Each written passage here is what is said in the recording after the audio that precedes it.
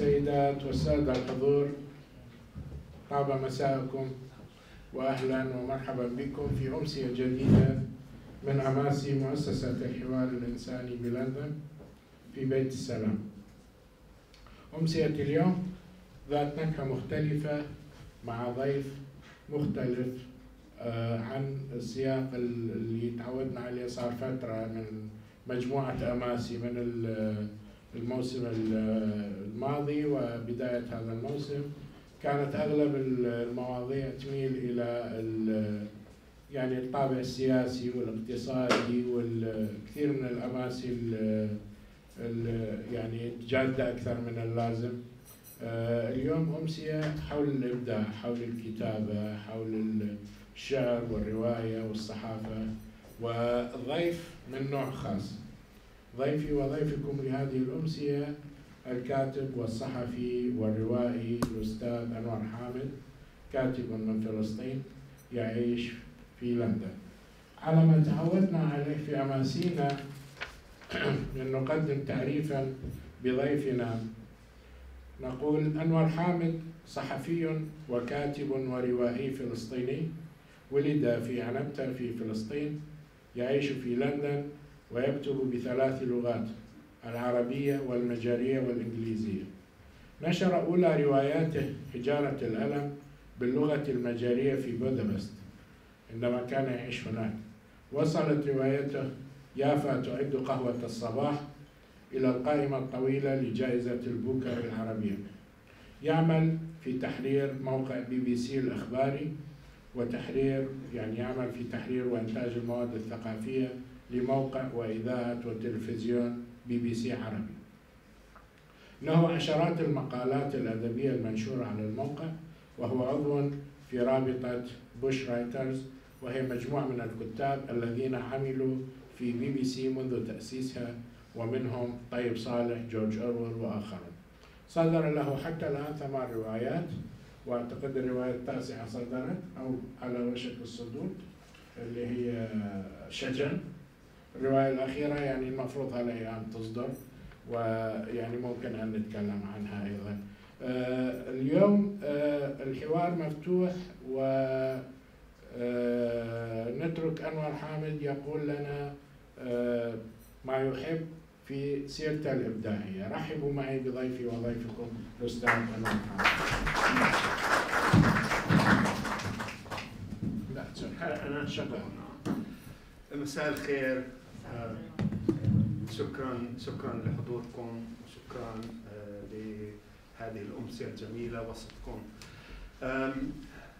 ما بعرف أنا سأبدأ يعني بالتعريف آه، بنفسي على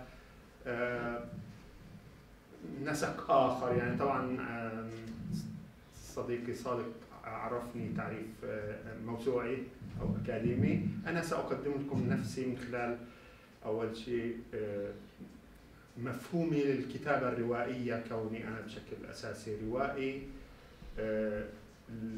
اللي قد يكون طبعا لا أعرف ماذا سيكون. هو هذا تصوري للكتابة الروائية. المختلفة قليلا عن السائد في المنطقة اللي أنا نشأت فيها. كونه يعني هجين رؤية الروائية رؤية هجينة لأني قضيت 25 سنة من عمري في بودابست في المجر. طبعا درست لغة أخرى وتشربت ثقافة أخرى وكانت عندي فرصة لأتعرف برؤى مختلفة ونظرات مختلفة للأدب. وبالتالي عندما كتبت روايتي الأولى طبعا أنا كتبت روايتي الأولى عام 2004 بعد أكثر من 22 سنة من وجودي في في المجر آه، كنت قد قرأت الكثير من الأدب المجري. وقرأت الكثير من من الأدب العالمي كوني أنا خريج أدب إنجليزي. وما أخذته ما حملته معي من وطني آه، اللي هو المفهوم السائد في بلادنا لل- للأدب والرؤية السائدة.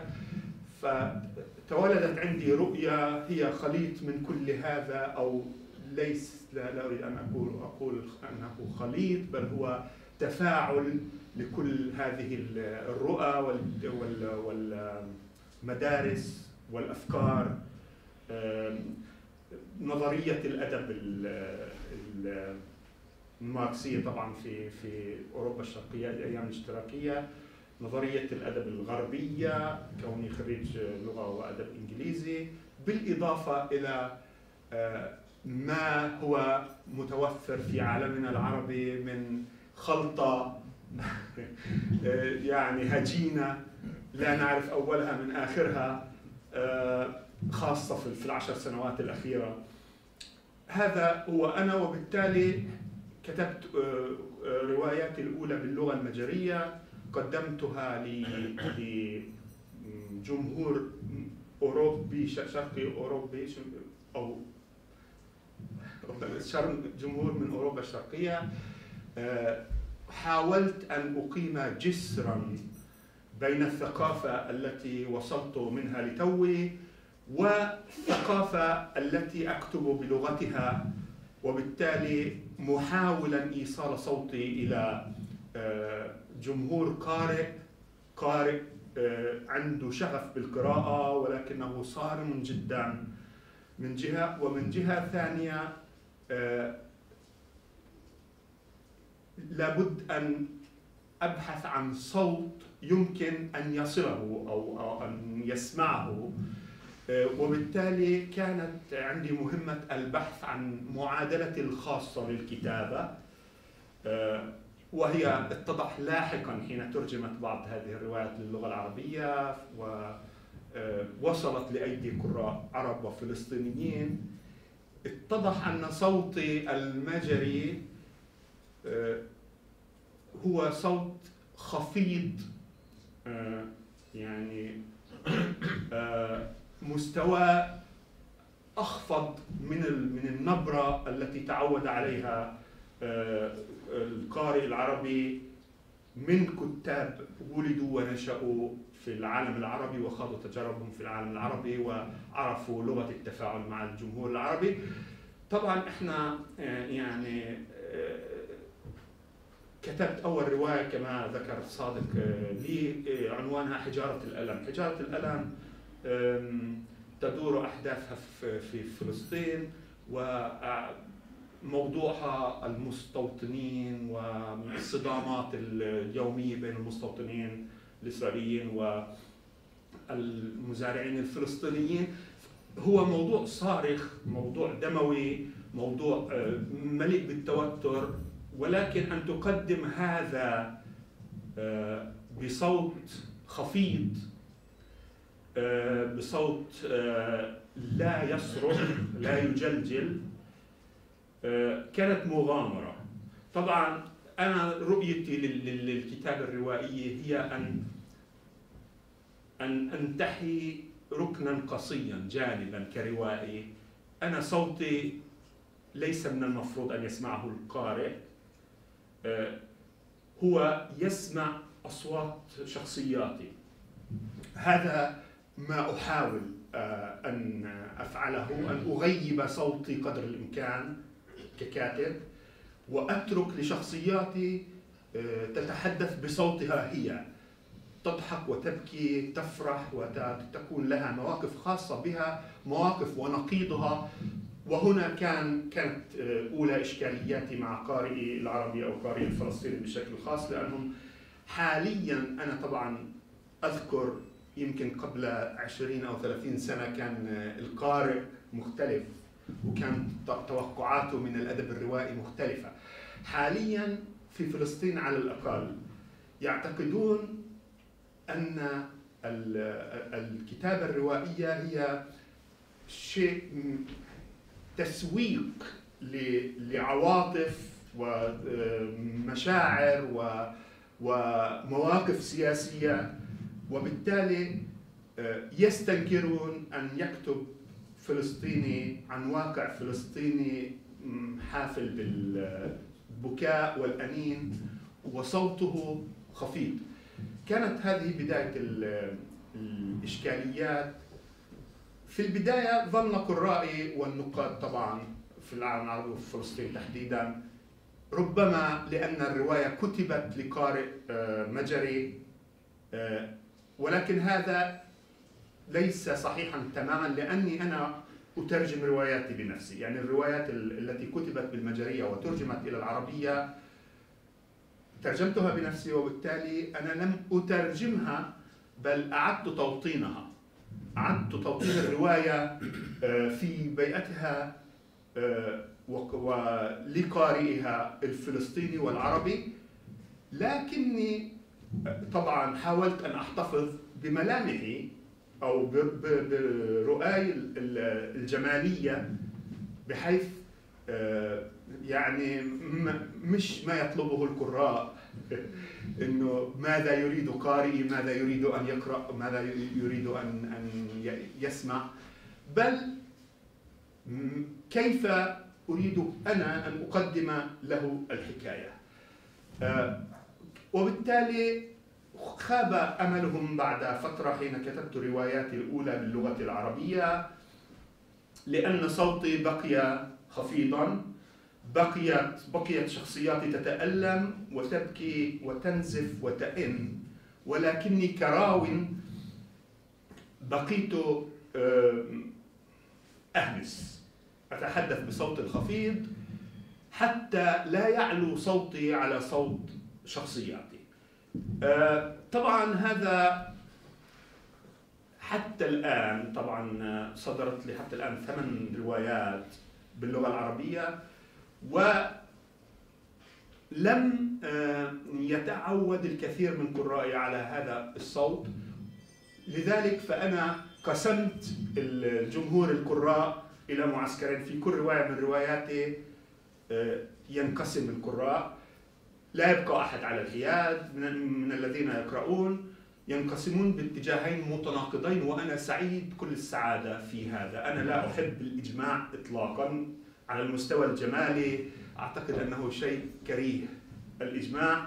آه، فاعتقد فأنا أفرح دائما عندما أرى آه، صدام في الرؤى ما بين قراء مختلفين حول رواياتي. وكون نعيش في العالم العربي العالم العربي القارئ العربي ولد في بيئة عنف وتعبيره عن مواقفه عنيف أحيانا تصل حد الشتائم وأحيانا تصل حد الهجوم الشخصي وأنا سعيد. ليس عندي أي إشكال لأني يعني أهمس بنفسي إنه من قرأ وشتم وتفاعل مع نصي. آه، التفاعل الذي أطمح له الذي أرغب به ليس المديح لا أريد آه، قراء يصفقون أريد قراء يناقشون يعترضون آه، يختلفون. عندها أحس أنني أوصلت لهم طرف الخيط. هذا المرحلة الأولى بداية طموحي أن أوصل لهم طرف الخيط. من طرف الخيط ليشدوا الخيط بأي اتجاه يريدون. أنا سعيد في كل الأحوال. من يشده شرقا غربا شمالا جنوبا طالما هم ماسكين الخيط الحكاية طرفه ويشدونه باتجاه ما فأنا سعيد ولا آه، أرغب بغير ذلك. آه، طبعا آه، هذا على مستوى النقاد برضه النقاد لا أعرف طبعا آه، آمل أن لا يكون الوضع في بقية الدول العربية بهذا البؤس. ولكن النقاد في فلسطين للأسف مسيسون مسيسون ويسيسون رؤاهم النقدية ورؤاهم الجمالية. ينتظرون من الرواية أن تكون بيانا سياسيا. ينتظرون بها أن أن تكون آه، صوتا لما صوتا مباشرا. هي صوت في النهاية ولكنهم يريدونها صوتا مباشرا لما يجري آه، على الأرض للحدث اليومي آه، عندهم كم هائل من الطبوهات والممنوعات والمحظورات. وأنا منذ اليوم الأول منذ كتبت الحروف الأولى آه، أعلنت يعني البيان الجمالي الذي أعلنته كان أنني لا أعترف بأي تبوهات ولا محظورات أنا يعني أخط أولى كلماتي ثم أتبعها أتبع شخصياتي هي تحملني. أنا أضعها على أول الطريق ثم هي تحملني مع مسار السرد مع مسار الحكاية وأنا أتبعها. لن أضع أمامها حواجز لا حواجز سياسية ولا حواجز جمالية ولا حواجز آه، من أي نوع كان. آه، وبالتالي هذا آه، كان مثار جدل جدل الجدل أنا دائما يسعدني كما قلت. في كل لقاءاتي في فلسطين يعني يدور جدل حاد وحاد جدا. ترتفع يرتفع الصوت و وأنا بكون في قمة سعادتي. طبعا أنا خططت ضمن هذه الدقائق التي نتحدث فيها أن أعطيكم نبذة أو آه، نقرأ شيء. آه، نصا قصيرا من إحدى رواياتي آه، لنأخذ انطباع أولي عن ماذا أتحدث بخصوص الصوت المختلف والصوت الخفيف. هاي الرواية عنوانها الأخيرة. هاي قبل الأخيرة. قبل الأخيرة. عنوانها مي وملح ماء وملح.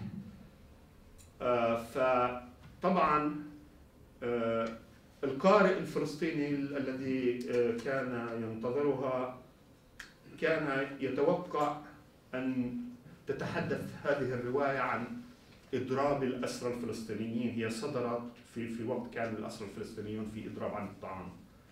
وهي فعلا تتحدث عن إضراب الأسرى الفلسطينيين ولكن بشكل خيب آمال البعض لأنه يعني حتى حين أنا أتحدث في موضوع آه، آه، كهذا آه، يبقى صوتي خفيضا ويبقى تناولي بعيدا عن ما عهدوه أو يتوقعوه مني. سنقرأ النص. حالة ازدحام غير طبيعية أمام نادي الأسير في أم الشرايط. لا ليس هناك تطور جديد في إضراب الأسرى لكن بعض كبار المسؤولين حضروا صباح اليوم للتعبير عن تضامنهم. وجود لافت وغير معتاد لوسائل الإعلام أيضا. أحصت روان ما لا يقل عن ثلاث كاميرات تلفزيونية عدا عن الكاميرات العادية وكاميرات الهواتف بأيدي المعتصمين. هذا حدث كبير ويجب تخليده اعتلى رجل أنيق المنصة. لم تتعرف روان على هويته لكن لابد أنه أحد الوزراء. استنفر المصورون تدافعت الكاميرات التلفزيونية للوصول إلى الزاوية الأفضل للقطات. وقف أمام الميكروفون بكامل بهائه وأناقته. حي الأسرى المضربين وعائلاتهم والمشاركين في الاعتصام أمام خيمة التضامن ونقل تحيات الرئيس ورئيس الوزراء والوزراء والوكلاء وإنها لثورة حتى النصر. ثم اقترب المشهد من ذروته جيء بكوب زجاجي ووضع على المنصة أمام الوزير.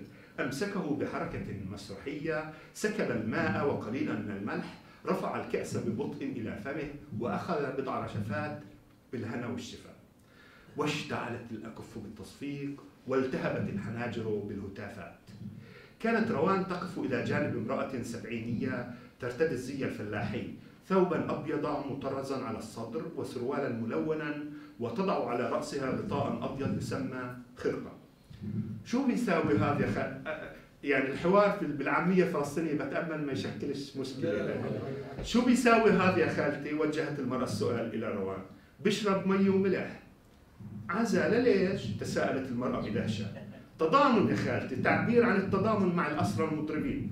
هزت المرأة رأسها. وشو الفائدة؟ ما هو هسه بيروح على بيته ومرته بتمد له سفرة مثل هون وهناك. ما راحت إلا علينا. يا حبيبي يما طول عمرنا حياتنا كلها مي وملح. انتفضت روان لسماع العبارة الأخيرة. حياتنا كلها مي وملح. هل جاءت من هذه المرأة السبعينية الأمية؟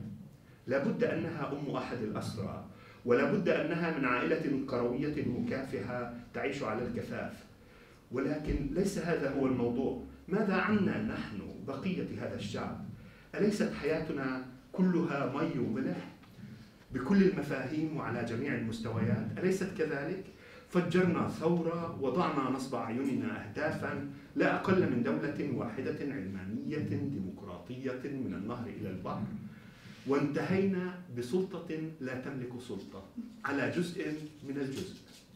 كان طموحنا تحرير الأرض والإنسان وأصبح جل همنا الآن الحصول على الرواتب بدون تأخير. كنا نضرب احتجاجا على الاحتلال لتصعيد النضال. ضده أصبحت أهداف إضراباتنا متعلقة بالرواتب التي تدفعها السلطة التي تتسولها من الأوروبيين والأمريكيين والعرب لتنوب في دفعها عن المحتل الذي لا يزال يحتل الأرض والسماء والماء والهواء ألم تختزل متطلباتنا السياسية والحياتية إلى ما دون الحد الأدنى؟ ألم تتمحور حياتنا على المي والملح؟ الأساسيات في كل شيء في السياسة والكرامة والحياة صدقت يا أمي صدقتي حياتنا كلها مي وملح. من وين أنت يا خالتي؟ من عوارتة ابني مسجون له تسع شهور. الله يرضى عليه الله يرضى عليه. مش أول مرة هاي. كل ما لقم الكوز بالجرة بيجوا بياخذوه حدثتها الأم عن زيارتها له في السجن. آخر زيارة كانت إلى سجن الرمل آخر زيارة كانت إلى سجن الرملة. بعد أن نقل إلى عيادته حين ساءت حالته الصحية. وصلت إلى هناك بعد ثمان ساعات من مغادرتها القرية. حواجز وتفتيش وانتظار. وصلت إلى هناك أخيرا لكنها لم تراه كان هناك اعتصام أمام السجن شعارات وخطابات وهتافات وهي يكاد يغمى عليها من العياء. قالوا لها انتظري. انتظرت في الشمس الحارقة والعطش لساعات ثم لاحظتها امرأة شابة من المعتصمين أحضرت لها زجاجة ماء. واستها وحاولت رفع معنوياتها التي انهارت حين علمت أنها لن تراه لماذا؟ هل ساءت حالته الصحية أكثر؟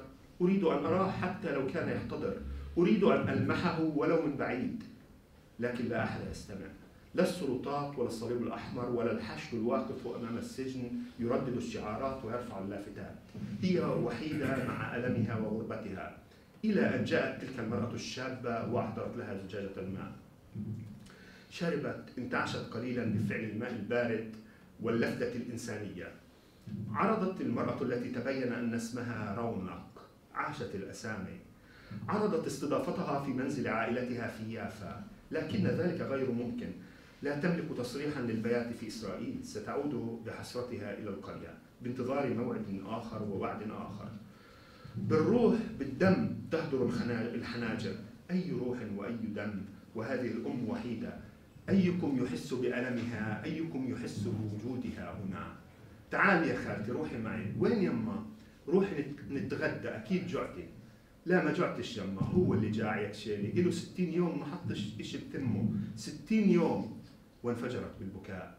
حضرتها روان وفجأة لاحظت أن الكاميرات التلفزيونية مسلطة عليها. انتهت التمثيلية على المنصة وهم يبحثون الآن عن فاكهة وحلوى يختمون بها التقرير. صرخت روان بالمصور. روحوا من هون روحوا! صدم الشاب الذي كان يقف خلف الكاميرا من عصبيتها. لم يفهم سبب غضبها. أما هي فأمسكت بيد الأم ورافقتها إلى موقف الباصات المتجهة إلى نابلس. اشترت لها زجاجة ماء باردة ودفعت أجرتها. عانقتها مرة أخيرة وغادرت وعبارتها ترن في رأسها. حياتنا كلها مي وملح يما حياتنا كلها مي وملح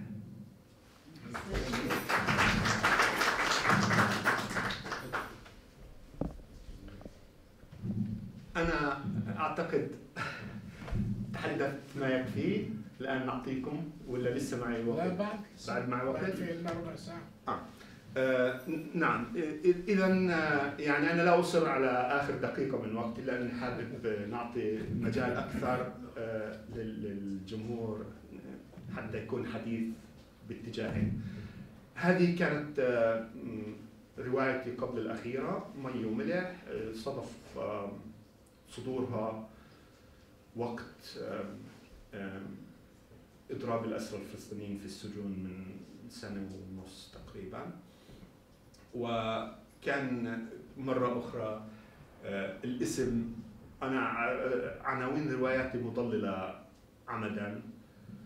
فالكثير من ال- من الذين كانوا ينتظرونها من قرائي كانوا ينتظرون آه، بيانا سياسيا عن آه، الأسرى وإضراب الأسرى واحتفاء به طبعا جاءت صدمة للبعض وخيبة أمل للبعض واحتفى البعض بها لأنها لم آه، لم يكن هذا هدفي إطلاقا. أنا المساحة الأكبر من الرواية خصصتها لمعاناة الأسير بعد خروجه من السجن. مش في السجن. في السجن طبعا أخذ جزء معتبر معاناته في أثناء ال ال ال- الإضراب عن الطعام والجوع والإرهاب في داخل السجن وكل شيء. ولكن خصص جزء كبير إلى معاناته خارج السجن بعد أن تنحسر الأضواء والحشود تذهب إلى بيوتها والشعارات تصمت وهو يبقى آه، مع آم، أجهزته التي دمرت بفعل الإضراب لفترة طويلة مع الوحدة مع الأز... الشروخ التي نشأت في علاقته الزوجية مع الاكتئاب مع آه، مع كل هذا. أفردت لهذا آه، حيزا أكبر من آه، من البطولة. حتى البطولة حين ناقشتها طبعا لم أكن معنيا ب جعلها صارخة حتى مشاهد البطولة كانت مشاهد ألم وتحدي وتحدي يختلط به ال- الألم مع مع آه، يعني آه، تحدي فلسفي بشكل أكثر منه تحدي سياسي. تحدي آه، إنه حوار ما بين وعي الشخص وجسده ومن هو أقوى. وحوار من طرف ثالث آه، ال- الألم يدخل على الخط. يعني مش ما توقعوه ليس ما توقعه القراء من احتفاء بالانتصار الأمعاء الخاوية كما سموها في المعركة. فبالتالي آه، مرة أخرى آه، مفاجأة كانت للمعسكرين. معسكر وجد فيها خيبة أمل ومعسكر احتفى بها وهكذا. يعني هذه هي اللي بسموه ال Ars Poetica هذا هي مم، نظرية الجمالية الشخصية إنه أحب دائما أطمح أعتبر نفسي نجحت إلى حد ما إذا آه، كتابتي أدت إلى استقطاب استقطاب ما بين آه، جمهور القراء طرف آه، وصلته وطرف ويحتفي بها وطرف وصلته ولكنه يرفضها رفضا صارخا وبصوت عالي. وشكرا. شكرا. جزيلا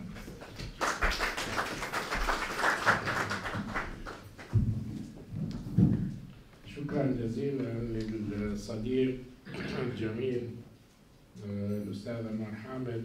آه، الآن كن آه، قبل آه، تقريبا أسبوعين أو ثلاثة أسابيع آه، يعني عملت حوار مع آه، الأستاذ أنور حامد لجريدة القدس العربي وصدر في وقتها يعني قبل تقريبا ثلاثة أسابيع.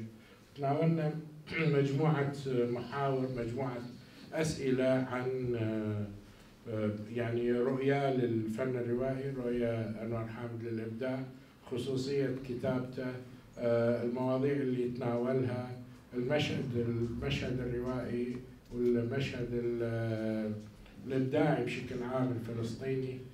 آه، فأكو مجموعة يعني مجموعة أسئلة وم- ومجموعة آه، إجابات من أنور غطت آه، كثير من النقاط وتناولنا كثير من الأعمال. فما أعرف يمكن حضراتكم اللي اللي قاري لأنور شيء أو اللي نعم. أنا جبت بعض النسخ من, من في عندي روايتين عندي منها نسخ ففي حال رغد آه، آه، دكتورة حسناء أوكي. دكتورة حسناء طبعا شكرا على الحديث الممتع وعلى. استضافة المؤسسة لحضرتك. أنا عندي شغف يعني بقراءة الرواية باللغة العربية وباللغة الإنجليزية لأنه أعتقد أنه الرواية ت- تروح للأبعاد ال- الاجتماعية اللي تحت الهيدلاينز يعني حتى من ناحية ال- يعني التأريخ هي تأرخ للأحداث من وجهة نظر أعمق لأن تدخل بالنسيج الاجتماعي وتشوف آه، يعني معاناة الناس آه، بعيدا عن ال- الأضواء وهذه العناوين وال- والبروباغندا اللي يح- يحاول يعني بوقتها الإعلام أن يظهرها بأي مرحلة من مراحل. فهي أمينة على نقل يعني معاناة الناس الحقيقية. حضرتك قلت إن إنه أنت تحاول تنزوي وت- وتوصل صوت الشخصيات بس يعني ما ممكن إنه الكاتب يتجنب يعني بشكل كامل أن أن يوصل صوته حتى ولو بشكل خفيف مثل ما حضرتك ذكرت. لأنه من المقطع اللي هسه قريته أنت يعني عربت عن وجهة نظر يعني وج- وجهة نظر صارخة يعني إنه هذه معاناه هذه المعاناة اللي تشوفها بين الناس الحقيقيين هذه أيضا تعبر عن وجهة نظر الكاتب أحيانا. وعندنا مشكلة إحنا طبعا بالتابوهات الاجتماعية لأنه ما أعرف إذا يعني حضرتك طلعت على أعمال ال- الكتاب العراقيين المعاصرين. هواية من الكتابات تتجاوز تابوهات بس المشكلة لا ينجو كاتب من مهاجمة الأطراف الأخرى وإحنا وصل يعني عندنا حد للأسف يعني يعني حتى. مو مو معارضة بس بالصراخ يمكن حتى وصلت إلى يعني تهديد بالسلاح وهاي الأشياء. فكيف تقدر توازن إنه توصل هذا الصوت ومع اختراق كل هذه التابوهات؟ وبالإضافة إلى هذا أريد أسأل إنه هذه الكتابة اللي حضرتك وصفتها هجينة أنا أقول يعني يمكن هجينة يعني تعبير آه، التعبير ال- الأصح يمكن متنوعة أو من من خلفية متنوعة لأنه دائما ال ال يعني ت- ت- تثري الكتابة بأي لغة كانت يعني. فإذا صار يعني تنوع بالثقافات للكاتب أتصور هذه تثري فما أعرف ليش سميتها هجينه طيب بال- بالجزء الأول. طبعا آه، آه، إنه في شيء في حقيقة يعني لا أستطيع أن أدعي أنا ولا أي حد منظر إنه الكاتب صوته آه، غير موجود. أنا آه، يعني صوته المباشر غير موجود لكن هو الكاتب هو يختار المسار يختار ال- الموضوع يختار الشخصيات.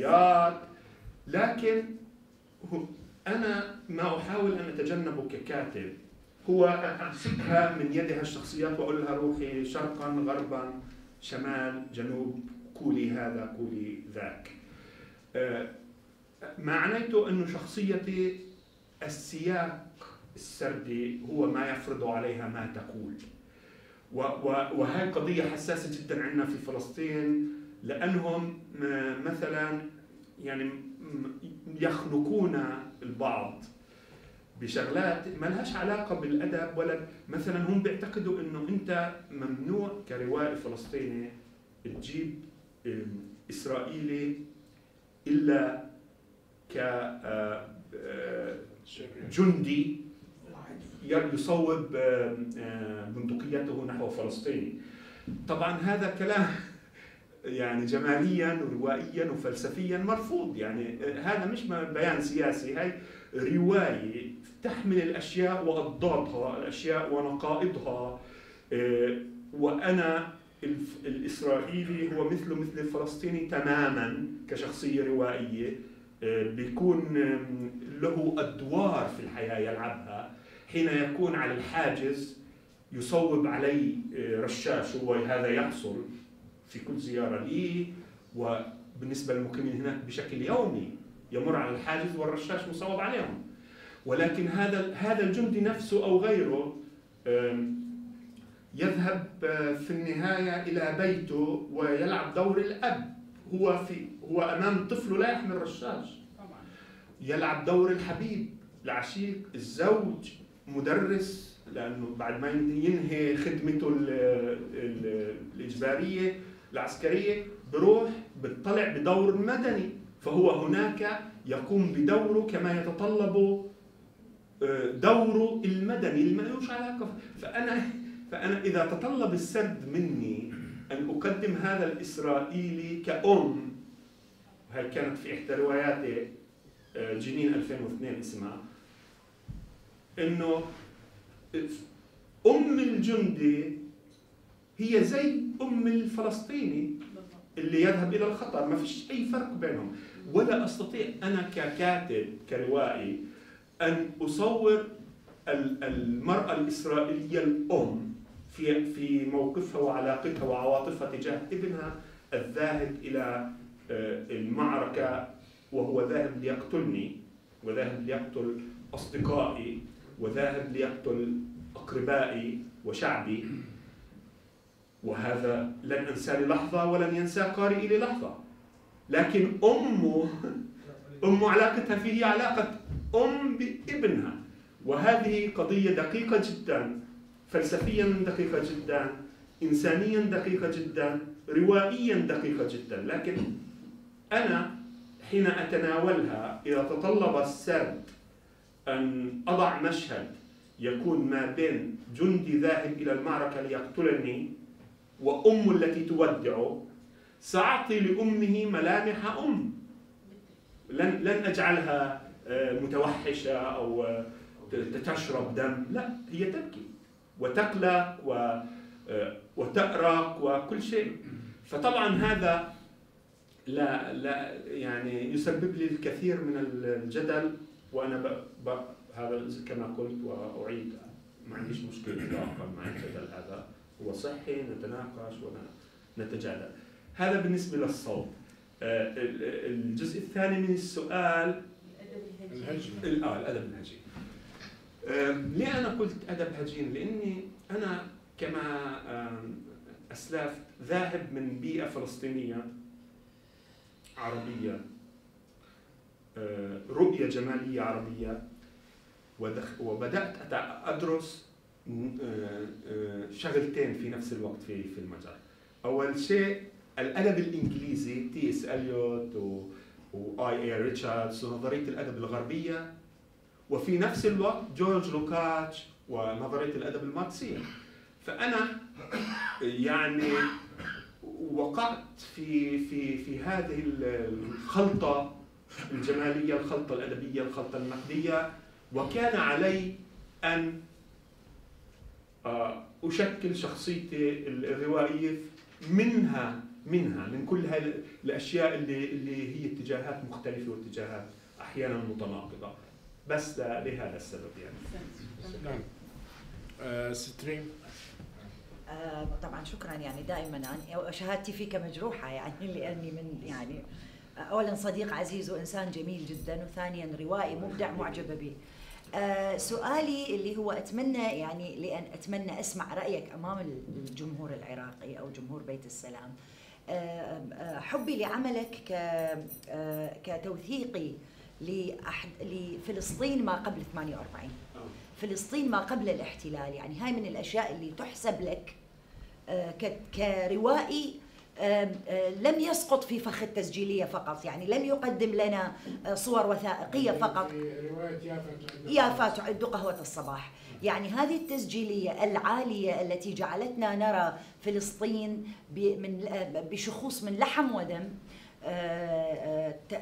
تعيش حياتها اليومية مع توثيق دقيق لتلك الحياة. أتمنى أن تحكي شيء عن تجربتك في هذا الأمر. يعني. وشكرا لك طبعا. طبعا الحديث عن رواية يافا تعد قهوة الصباح تدور أحداثها في ثلاثينيات ال... في نهاية ثلاثينيات بداية أربعينيات القرن الماضي. هاي لها قصة مشوار طويل إنه أنا كنت أتمنى آه، أن يعني يطلع بهذا المشروع أحد الكتاب الكبار من فلسطين ويعطيه حقه. لأنه تاريخنا تاريخنا آه، قبل 1948 ملامح المجتمع الفلسطيني غائبة. غائبة من الأدب وغائبة من كل شيء. لا نعرف عنها شيئا.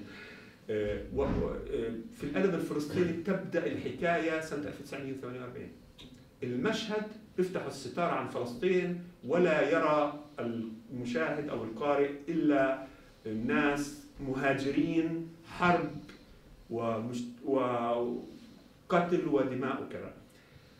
وبالتالي الإسرائيليين مثلا بيقولوا أنتم انت أنتم ولدتوا سنة 1948 ويروجوها في العالم و, و, و, و هناك من- ونحن نساعدهم. بذلك لأنه وين وينها ملامحنا؟ أين هي ملامح مجتمعنا في الآداب والفنون وال- والسينما وال آه، أنتم كل ما تكتبوا شيء أو تنتجوا شيء عن هذيك الفترة بتبلشوا بال 1948 وكأن نزلنا من الفضاء بال 48 آه، آه، هجرونا نزلنا إلى فلسطين من الفضاء وهجرونا إلى لبنان والأردن وكذا فكان هذا مشروعي إنه أكتب عن آه، المجتمع الفلسطيني قبل النكبة بسنوات. يعني آه، أظهر ملامحه المدنية آه، والطبقية وكل شيء. مجتمع مجتمع طبيعي. مجتمع طبيعي زي المجتمع زي المجتمع في خير وفي شر وفي الأوروبي العراقي المصري إنه له ملامح في طبعا في هذيك الفترة كان إقطاع كان آه، على الانتداب البريطاني وكان المدن يافا وحيفا مزدهرة فيها تنوير يعني كل هاي الملامح المتناقضة الشيء ونقيضه. الريف كان معدم المدن كانت مزدهرة. فطبعا وهذا ما حصل آه، وبالتالي نفس الشيء وقعنا في نفس المأزق إنه الفلسطيني اللي ترك آه، في ال 1948 يروي لأبنائه ولأحفاده آه، بحنين. طبعا الإنسان الحنين لا يستوعب سوى الجمال سوى البيارات البرتقال سوى نعم؟ ويؤسطر. ويؤسطر.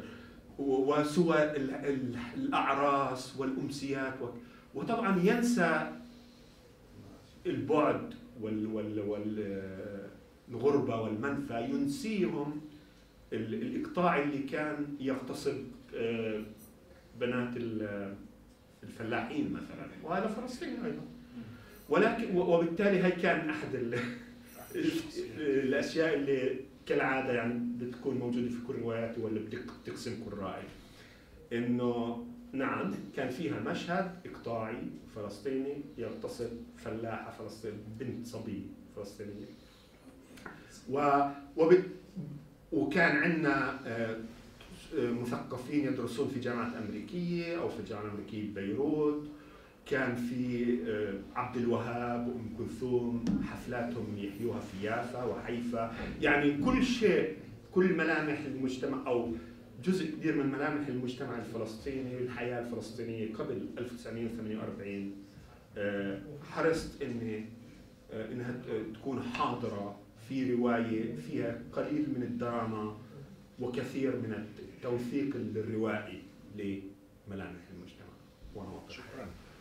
بس أحب أقول شيء بهذا الخصوص آه، يعني رابط بين يعني أغلب الجمهور أو كل الجمهور عراقيين. انه البعثات اللي كانت ترسل البعثات العراقية الأولى بعد تأسيس الدولة الوطنية بعد تأسيس المملكة آه، البعثات الأولى بدأت تقريبا آه، 30 سنة 30 آه، السنوات الأولى لأنه آه، كانت الانتداب انتداب بريطاني في العراق وفي فلسطين.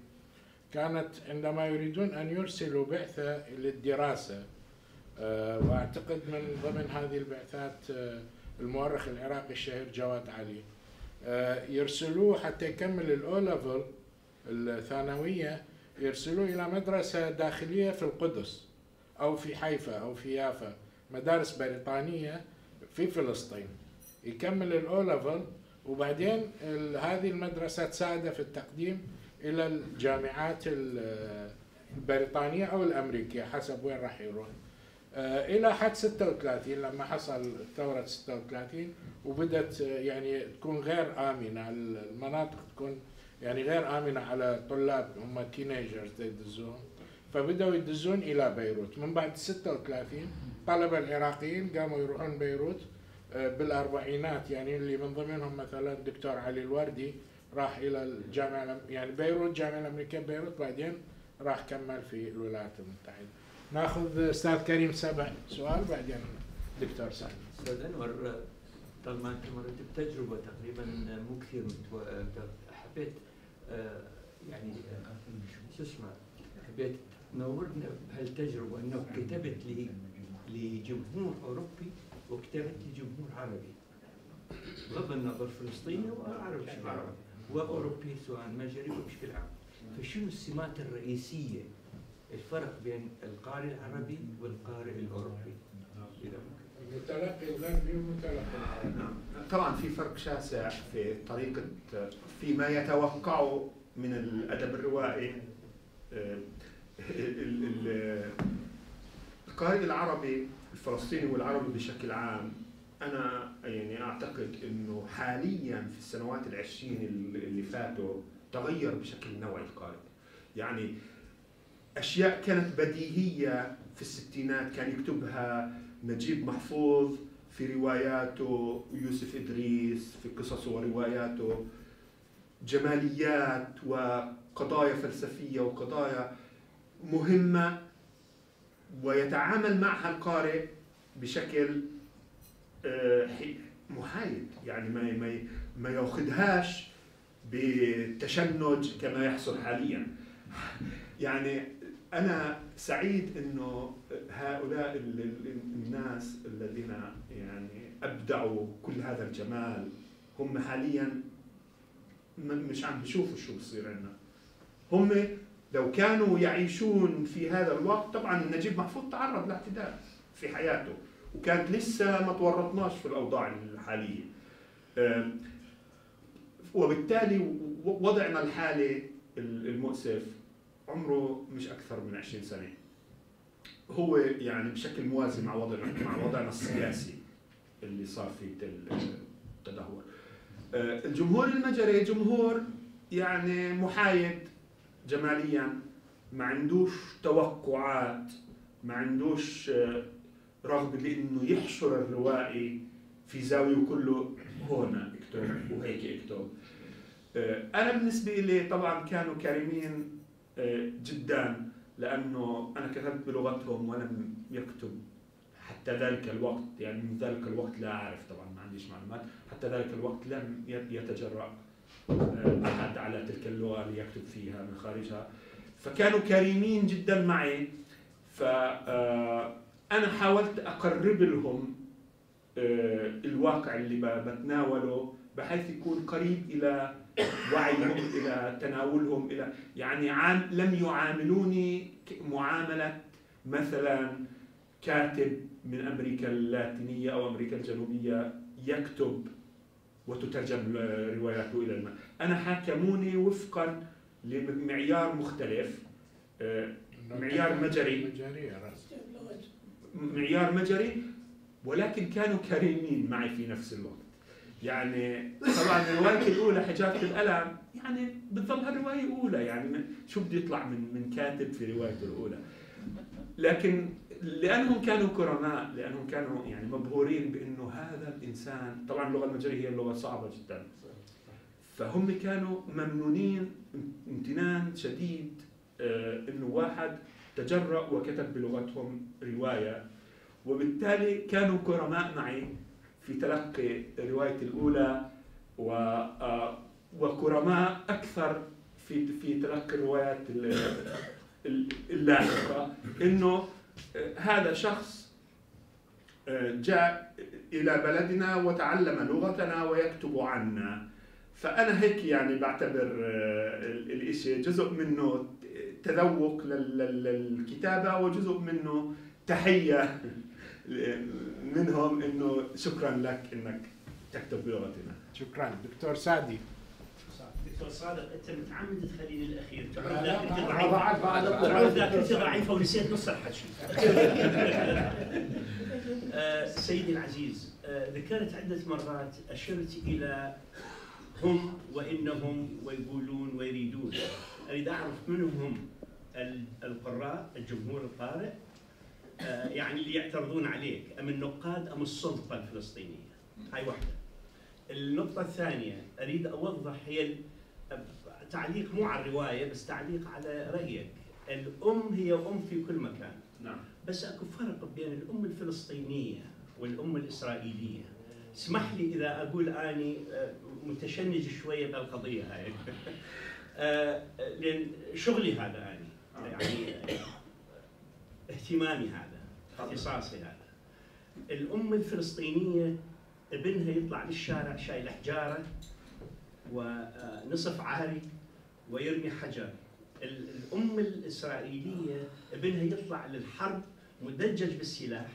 وطائرات تحميه ودبابة قاعد فيها ومدرعة وجنود منظمين. هاي واحدة هاي نقطة. النقطة الأخيرة ما أريد أطولها.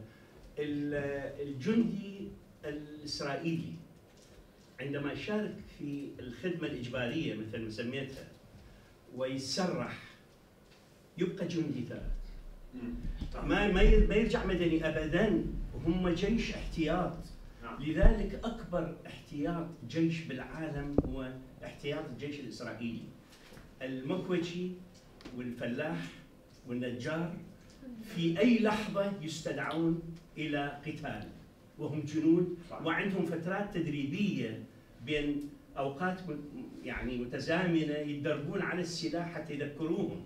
صحيح. بكونهم هم جنود. فال ال- ال- يعني الوضع الإسرائيلي كله عبارة عن معسكر. صح. نعم. أوكي.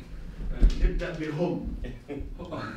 هم أنا لا يعني حكيتها يمكن بأكثر من سياق. أنا يمكن أشرت إلى معسكري قرائي معسكر المع وضد اللي آه، يعطون الحوار حيويته لأنه في مع وضد بالنسبة للمجتمع الإسرائيلي المعسكر دقيق جدا كلامك صحيح هو كل إسرائيلي عبارة عن جندي احتياط. ممكن يكون مدير شركة ولكن ممكن يستدعى في أي حرب ويذهب إلى المعركة.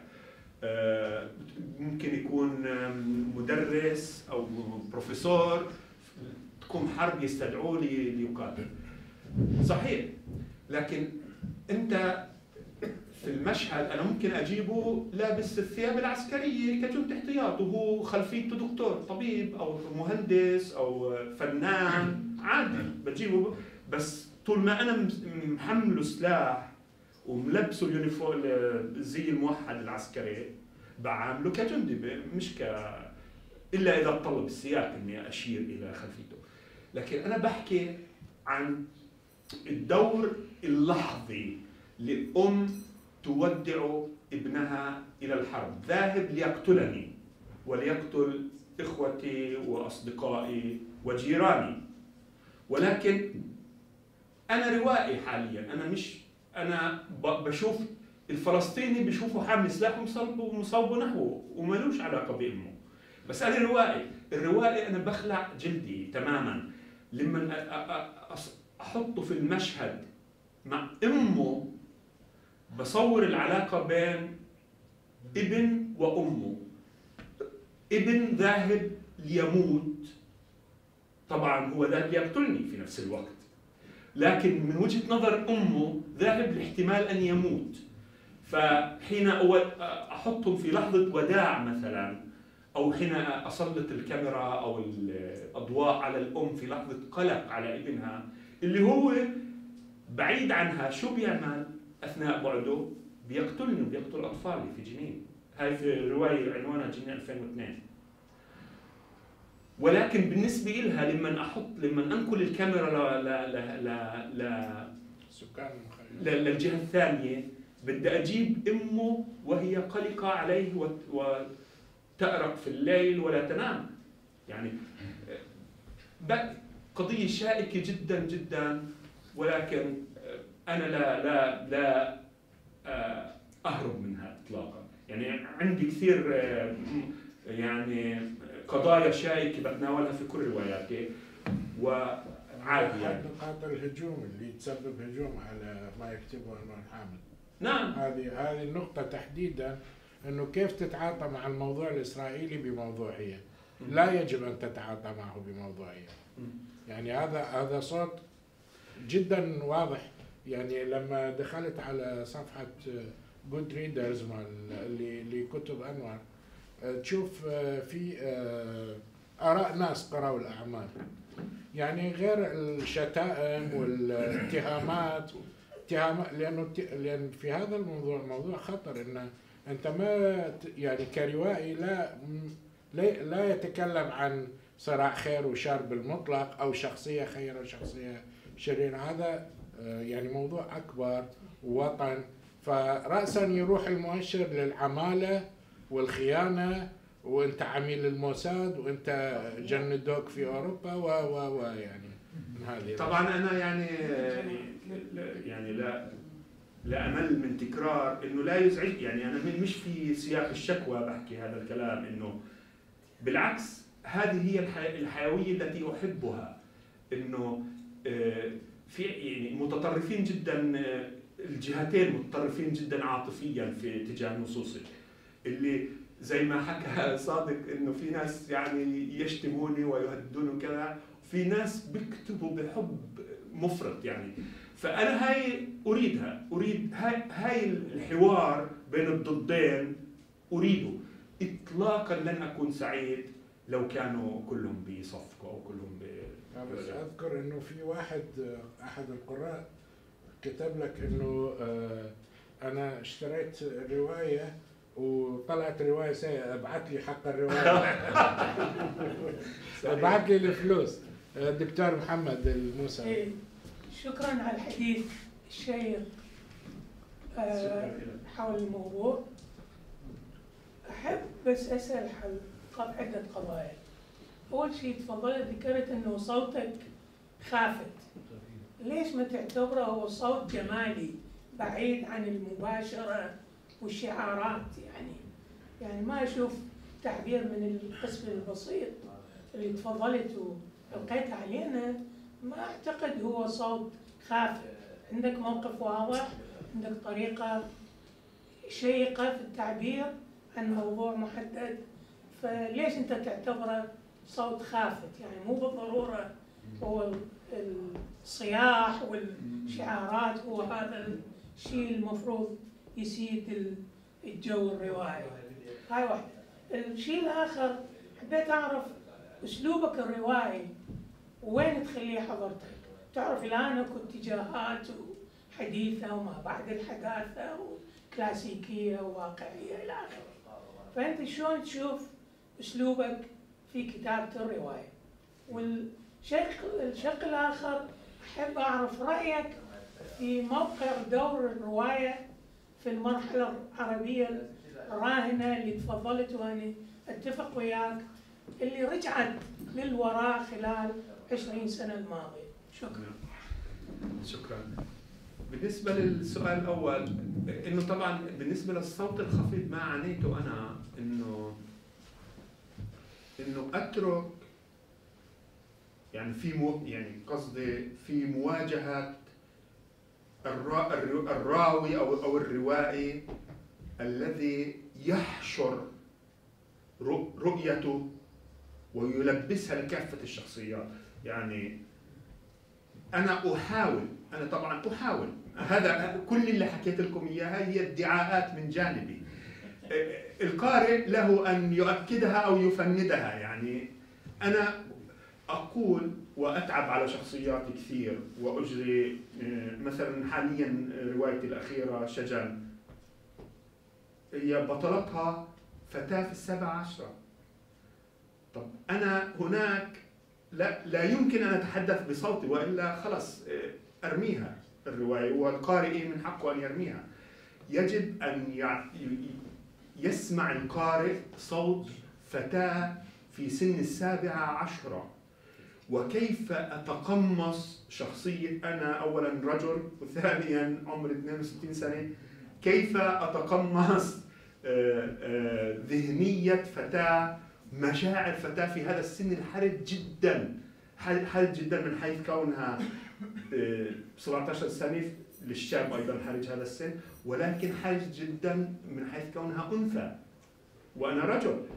ف فقصدي إنه أنا موضوعيا مش موجود هناك.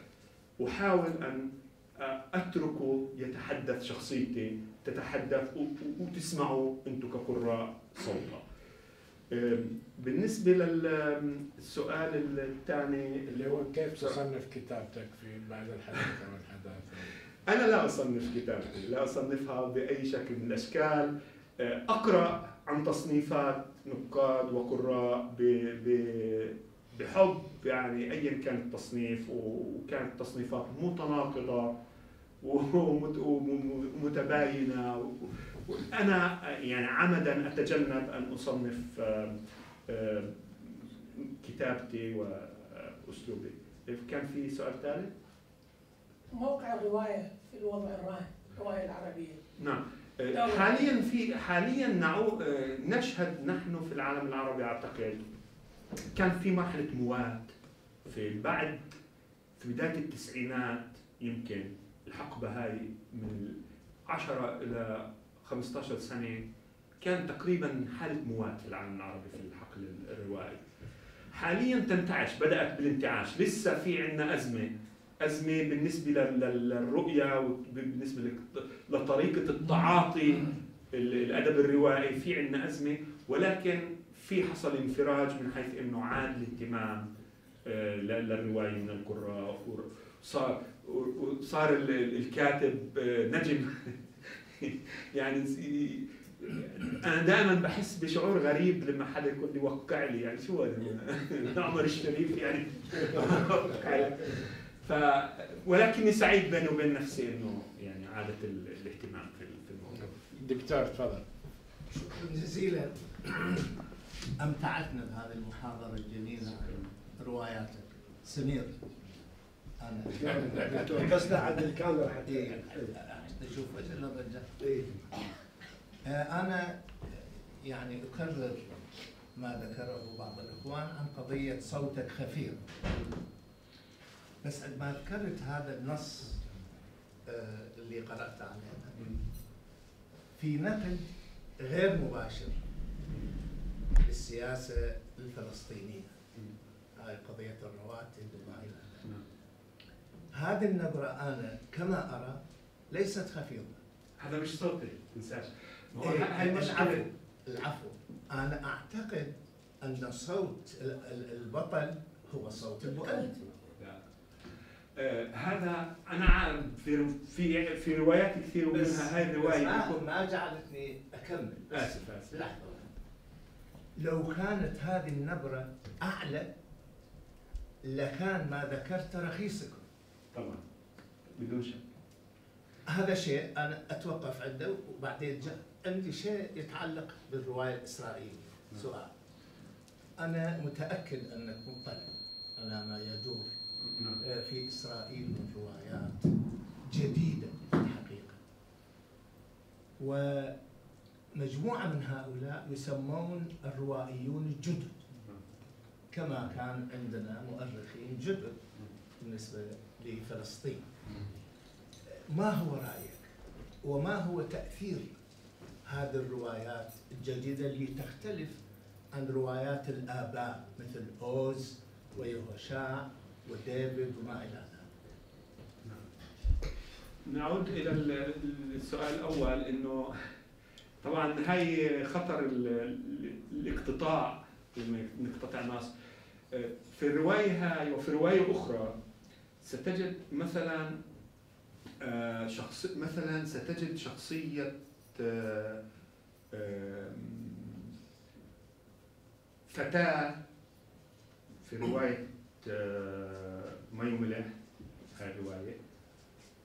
آه، ترفض أن ترتدي غطاء الرأس لأنه بدها تروح آه، تعمل مقابلة مع الأسير اللي كان مضرب عن الطعام وهو إسلامي توجهاته إسلامية ويرفض ي- يقابل آه، سافرة يعني مش مش محجبة.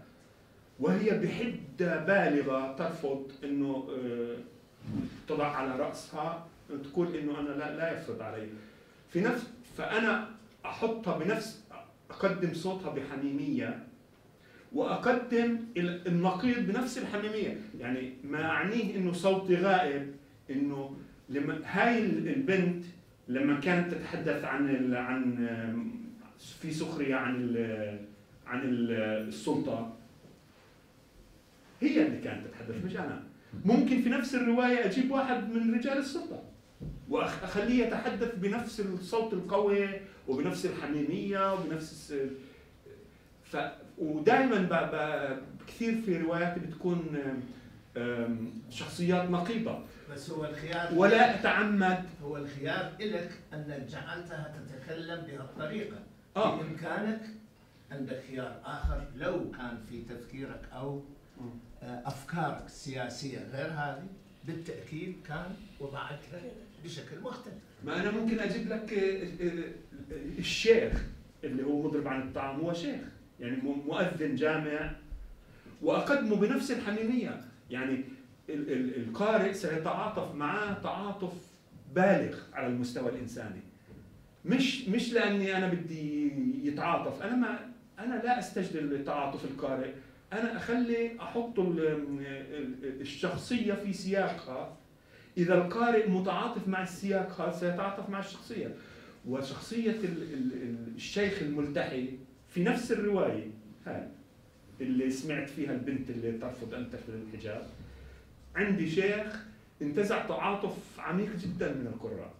أنا غائب. لن تعرف وأنت تقرأ الرواية. أنا كمؤلف هل أنا إنسان متدين و وفي صف على ناحية الش- الشيخ اللي قدمته بهذه الحميمية أو أنا إنسان غير متدين وفي صف الفتاة التي ثارت على فرض الحجاب عليها. عمرك ما راح تعرف هذه فكرة الصوت الخفيض. نانا تجي. قارئ مثل الكاميرا اللي حاطة على المشهد. هو عينه هي الكاميرا والشخصيات هي اللي تتحدث. نعم.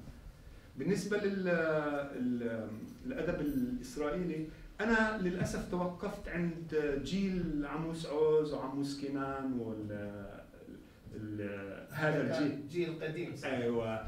يعني ال- ال- الاتجاهات الجديدة في الأدب العبري يعني بصراحة لست مطلعا عليها بما فيه الكفاية بحيث إنه يعني بس هي يعني رواية. طبعا أتمنى إني أطلع عليها لكن يعني ما لا, لا أجهل اللغة العبرية. آه، بس كتبوا عنها كثير وأصبح هؤلاء مجموعة. نعم. آه، كبيرة الحقيقة. وأنا فرح بذلك لأن تأثيرهم يكون أكثر من تأثير الآخرين حتى أكثر من تأثير السياسي نعم. لأن الرواية تنتشر أكثر وتقرأ أكثر. ولذلك أنا بدي تطلع نعم. على بعض. أنا سعيد شكرا معني جدا. دكتور صادق الركابي تفضل. أشكر مؤسسة بيت السلام بالاستضافة الكريمة للأستاذ أنور حامد وأشكر الأستاذ أنور طبعا على هذه الإطلالة القيمة. آه، أنا أت- أتمنى أن تتقبل سؤالي بقلب منفتح. كن واثق. آه، وأن لا تفسره تفسيرات أخرى. أنا أرجو أن تتخيل أن غسان كنفاني يقرأ رواياتك. ماذا تعتقد أنه كان سيقول؟ هذه من نقطة. نقطة أخرى ألا تعتقد أن آه، طريقة التقديم للجانب الإسرائيلي وهذا قد يعني تنسبه إلى المنتقدين يكون فيه تحريض على التطبيع مع هذا الكيان النقطة الأخيرة هي لماذا دائما الكتاب الفلسطينيين والعرب تحديدا يتناولون؟ الواقع الراهن أو التاريخ؟ ولا نرى تخيل لما سوف يكون عليه المستقبل. يعني أرجو أن تكون في إحدى الروايات القادمة شيء عن فلسطين في المستقبل. ماذا سيبقى من هذه الفلسطين؟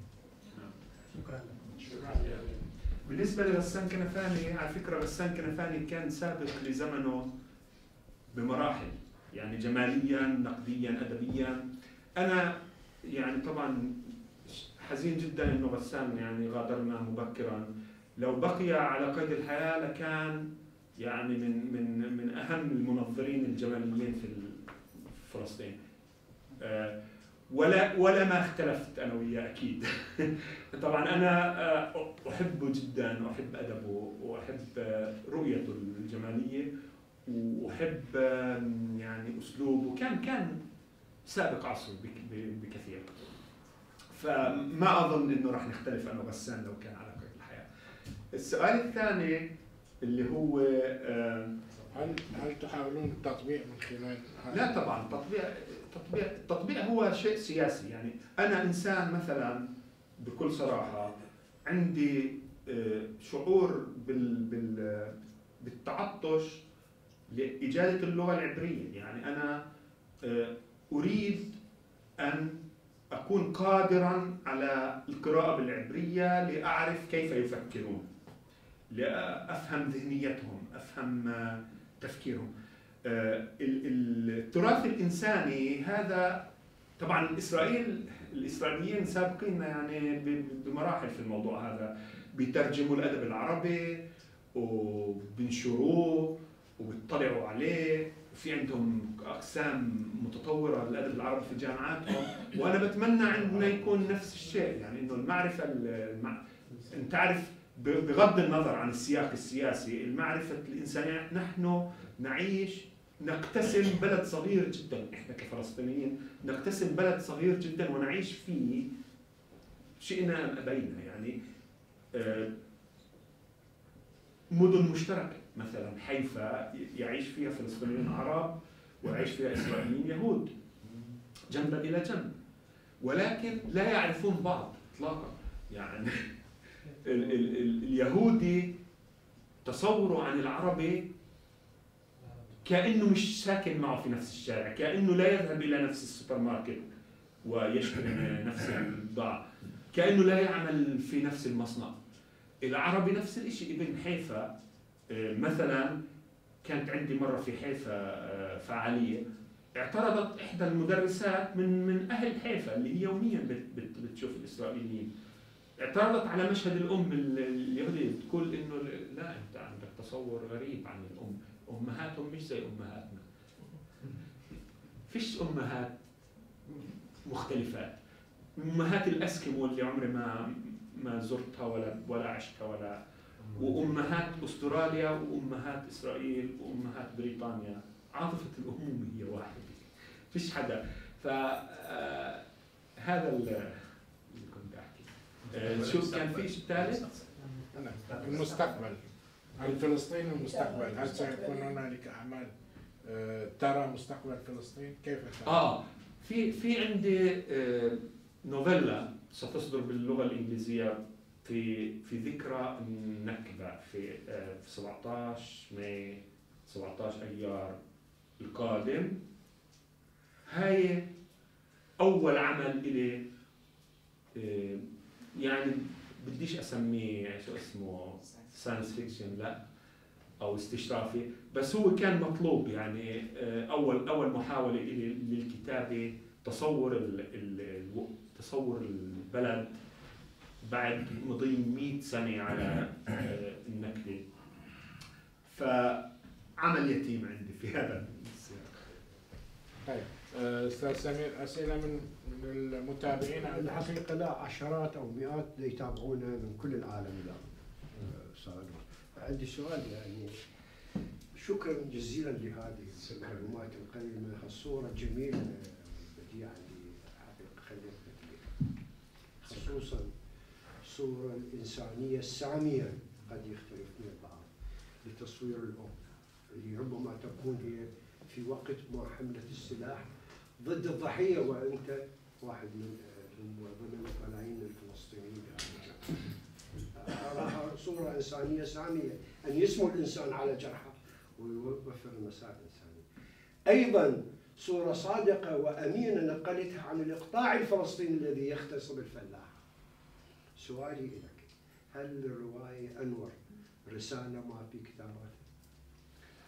آه، هس طبعا أنا دائما كما قلت في عندي شيء في في في ذهني ولكن أحاول أن لا آه، اقحم على القارئ. يعني أنا عندي رسالة غير مباشرة وهي محاولة إلقاء حجر في الماء الراكد إنه بعرفش بهمني أنا إذا ألف واحد قرأوني ألفين خمسة آلاف من الطبيعي إنه سيثير عند كل واحد شيء مختلف. إيه، أنا من الناس الذين لا يعتقدون إنه تأثير الأدب على وعي الإنسان مباشر وقوي. هو تراكمي. يعني يمكن أنا أأثر على واحد بأي اتجاه مش بالضرورة بالاتجاه اللي أنا أريده يمكن بالاتجاه المعاكس. ولكن مقدار التأثير ضئيل ضئيل جدا جدا جدا. وهو جمالي بالدرجة الأولى. يعني هو يقرأني ويقرأ واحد ثاني وثالث ويقرأ 100 واحد وبصير عنده خلطة غريبة من من ال الأفكار والجماليات والرؤى. وشو بيطلع منه في الآخر بعرفش بس أنا سعيد إني أكون ساهمت بذرة إذا ساهمت بذرة من هذا التأثير اللي ممكن يحصل معه وممكن ما يحصلش. تفضل دكتور نفس السؤال كان شكرا. آه هو هذا. ما اسال السؤال أوكي بس ناخذ دكتور عمر وبعدين. شكرا أستاذ أحمد بس حبيت أعرج على المتحدثتين. روان ورونق. نعم. هل هناك هذه الشخصيتين لها تأثير من من الواقع أم من الخيال؟ آه، على شخصكم. لأنه ذكرتوهم وركزتوا عليهم وتحدثتوا باسمهم. هل هناك شخصيه شخصيات مرت عليك بهذا الشيء ولا؟ يعني علاقة الشخصيات الروائية بشكل عام لو خصيصا يعني يعني كيف خصيصاً كيف واصلها واصلها أقصدها هو المشهد نفسه. نعم. لا أنا في رواياتي دائما بعمل بيكون عندي أحيانا مش دائما بيكون عندي موديلات. يعني إنه بس الم- الموديل يعني بعمل له عملية معقدة. يعني مث- مثلا روايتي ال- الأخيرة اللي شجن. هي مش مش آه، 17 سنة عمر ال- البنت آه، و آه، هي فلسطينية لكن ال- الموديل لإلها كان امرأة مش بسنها ومش فلسطينية. فبتصير عملية عملية آه، خلط أوراق معقدة عند الكاتب لما يعني يستخدم موديلات في في رواياته أو يستخدم أجزاء من ملامح أو يخلط ملامح للشخص هذا وملامح للشخص هذاك وملامح لشخص ثالث ويشكل منها شخصية من كل الملاحم من كل الملامح. نعم دكتورة هل حسناء من الممكن يعني هل ترى أن أحد رواياتك ممكن تصلح؟ فيلم سينمائي إذا توفرت الإمكانيات؟ لأنه السينما تأخذ الرواية إلى بعد آخر والانتشار يكون أوسع. يعني وصلت الهوليود في صارت عروض يعني آه، حاليا في من من أيام اجاني اتصال من مخرج آه، آه، بخصوص تحويل جنين 2002 تحديدا إلى فيلم. آه، ما بعرف أنا م- مش يعني طبعا يسعدني بالتأكيد إنه تحول إلى فيلم ولكن لست يعني شو بيقولوا آه، لا لا أجري وراءها. يعني في عندي تصور وفي عندي شروط. آه، أكثر من مرة في مخرجين أو منتجين بخصوص عمل رواية فيلم وما اتفقناش نعم. لأنه آه، أنا يعني إذا بدي اعطيها مرة واحد قلت له أعملها ما تذكرش اسمي إذا بدك تعملها بالتصور هذا نعم. آه، صعب صعب. جدا إنه الفيلم الفيلم بيسطح الرواية صح صح.